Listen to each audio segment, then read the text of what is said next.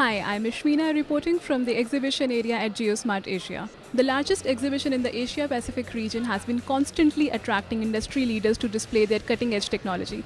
Let's have a look at what's on display this year. Uh, my name is Jason. I'm from Hewlett Packard Malaysia, the large format uh, plotter divisions.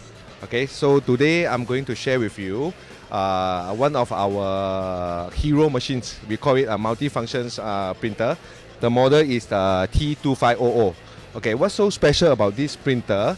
Okay, this printer is uh, we call it three in one. As mentioned, is a multi-function printer, so user can use it to print, scan, and even copy. Okay, so uh, from here you can see this uh, upper part is the scanner. Okay, this machine come in two row. Okay, so you uh, user can put two different of uh, sizes of media. I mean, uh, uh, different type of roll of paper, or maybe this different type of uh, media, like uh, photo paper, uh, normal tracing paper, or even uh, white uh, white. I mean, uh, normal uh, coated paper also can. Okay, so uh, this this this plotter come with a touchscreen monitor, as you can see here. Okay, it can it also come with a USB port. Okay, so it allow user to put whatever uh, to print directly via the plotter because uh, this plotter also embedded with uh, I mean uh, embedded PC. There's a small PC inside the uh, plotter.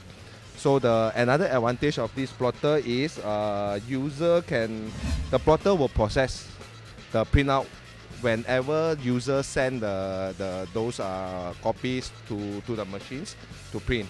So the printer will do the processing rather than the plot the I mean the desktop or laptop to do the processing. So it won't jam up your bandwidth.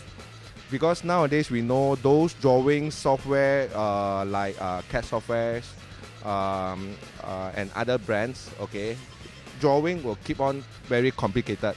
Okay, so definitely it will it uh, take much of uh, bandwidth or even the, the drawing sizes it keep on higher and higher like up to 3 gigs okay per drawing so the advantage of in printer processing in HP okay so it allow the user after he send the, the print job to the printer okay let the printer do the processing so it won't you can free up your desktop or laptop uh, uh, I mean the, the memories to for you to continue do your your next drawings or your next job and let the printer to do the printing. My name is uh, Eric Broussoulou. I'm, I represent a French company called IMAO. Um, we are focused on the acquisition, data acquisition from aircraft. So uh, we produce different kind of data, uh, photographs taken from aircraft, lidar survey, and also oblique photos. With that kind of photos, we can create urban 3D models. We can see a demonstration of the model on the screen. This it looks like an orthophoto, but in fact this is a, a real uh, a thin model. We can have a view, oblique view. We can zoom. This is Paris, and you don't need any more to go to Paris. You can make a touristic view everywhere in Paris. In fact, this is uh, an aerial triangulation. This is a photogrammetric process uh, using uh, photographs at 10 centimeter resolution. We calculate automatically uh, points visible on each image. We create the thin model. This is a kind of DSM, and we put the pictures on the face on the of the building and it looks like really flying over Paris. This is the Eiffel Tower. So, thanks to this technology, composed by two components oblique photos and a software that will produce the model. This, um, this software is um, produced by Bentley. Uh, anybody can purchase it you need just uh, oblique acquisition and you create by yourself the model. Could be very interesting for various applications like um, evaluation of impact of new building in, a, in an old city, consultation for promotion, touristic promotion of a city, city planning, many, many applications, including flooding. Hello, uh, I'm BC. I'm from Faro, Singapore. So today I'm in Malaysia, um, attending GeoSmart uh, Malaysia 2015. Um, today, Faro, uh, in our booth, we you know have a series of products. Uh, we just actually introduced a new addition to our range of products. So before we go into that, maybe just a quick introduction to our existing product, um, which is the Faro Focus Scanner. It's one of the best-selling scanner in the world today.